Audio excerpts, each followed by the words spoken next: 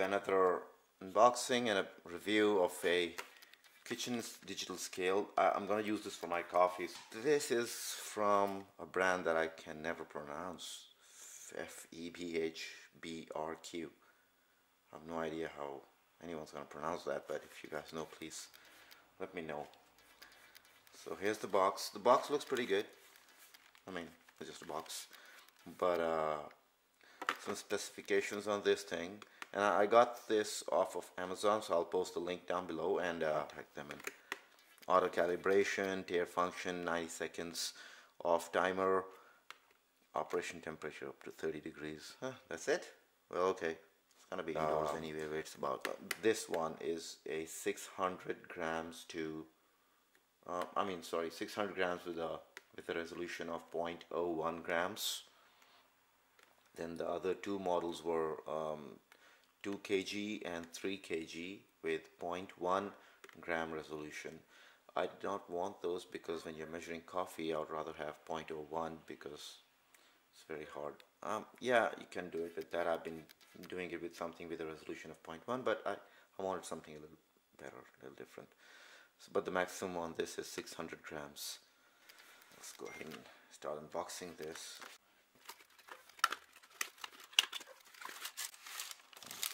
Down, okay. Oh, it came with batteries. Nice. Anyway, I'm not gonna use these. I'm gonna put my energizers in there because I just love them, trust them. They last forever. Uh, yeah, so user manual, whatever. Put the batteries in there in a bit so it comes with just one tray. It's supposed to go on there like so. Like the packing. And nothing wrong with the unit. Nice brush finish on the on the scale top here. As you can see very nice brush finish. The buttons look nice too. Uh, like a decent and the, the, build quality is nice as well. And uh, overall I'm happy. Yeah there you go. It says which model this is. So this is a uh, not sure if you can see that clearly but 600 grams 0.01 resolution. I'm really so so let's no. put that on the side here for a second. Here is the the one that I had bought previously from Amazon which needs to go back in a day or two. So here's the one.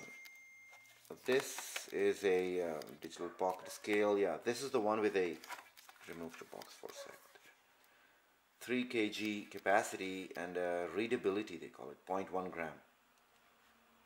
Takes two batteries so they both let's take the cover off of this thing. It comes with one cover uh, not a cover basically it's a it can be used as a cover as well like I just did or you can place it on the scale so you don't tip your stuff over and stays on the scale. And this one comes with two which I like there's one right here, a smaller one, a small tray, and then another one which I've, which was sitting in. There you go.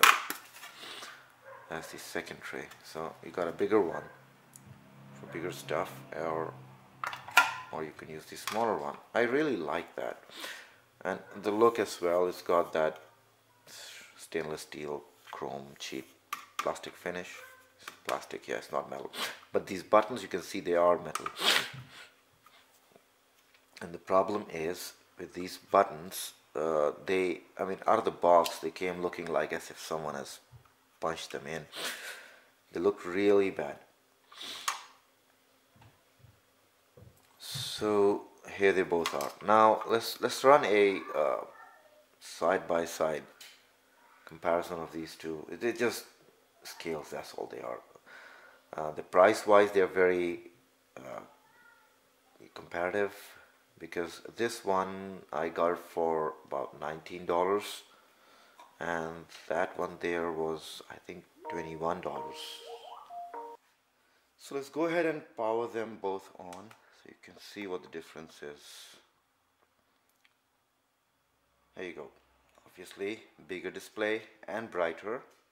Uh, they're both readable in the kitchen I mean how far am I standing from it anyway but just a little more comfortable um, the backlight lasts a little longer on that one. Uh, they have the modes, uh, pieces function. Um, so both have four buttons, but just that the display is a little bigger.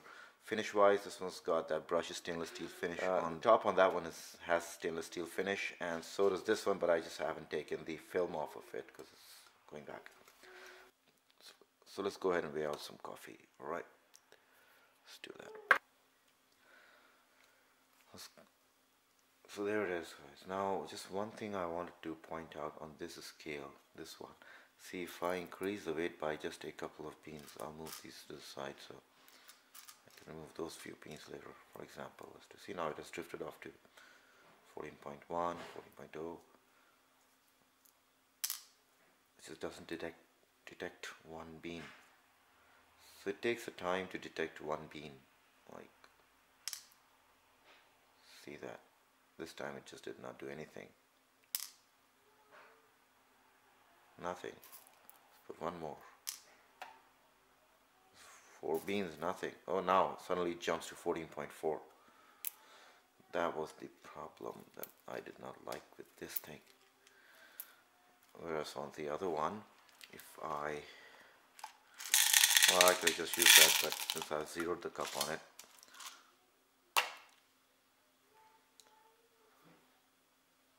okay, big boo boo there.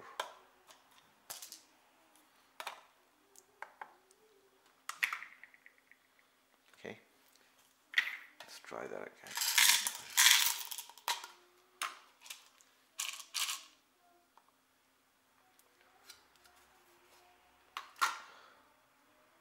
What? No, that can't be right.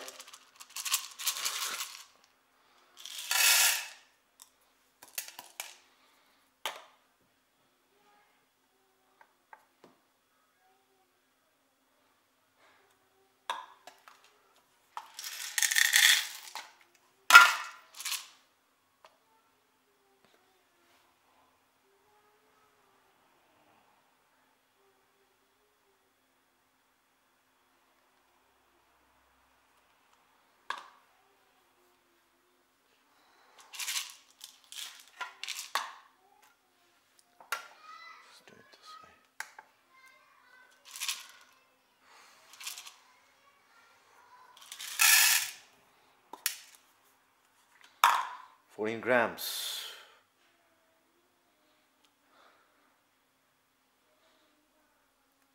So on the other tray, there you go. Let's move them to the side.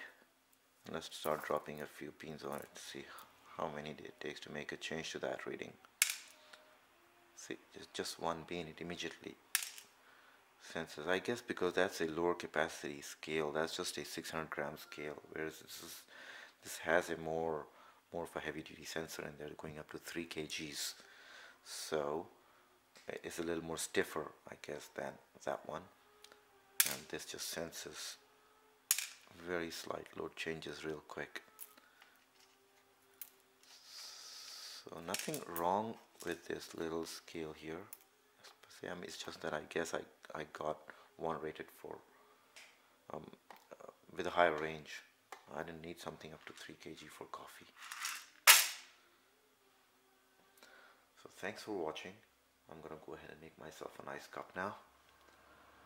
So uh, you guys please go ahead, subscribe, like, share, whatever you guys want to do with this. Thank you. leave me some comments too. Thanks for watching. Bye.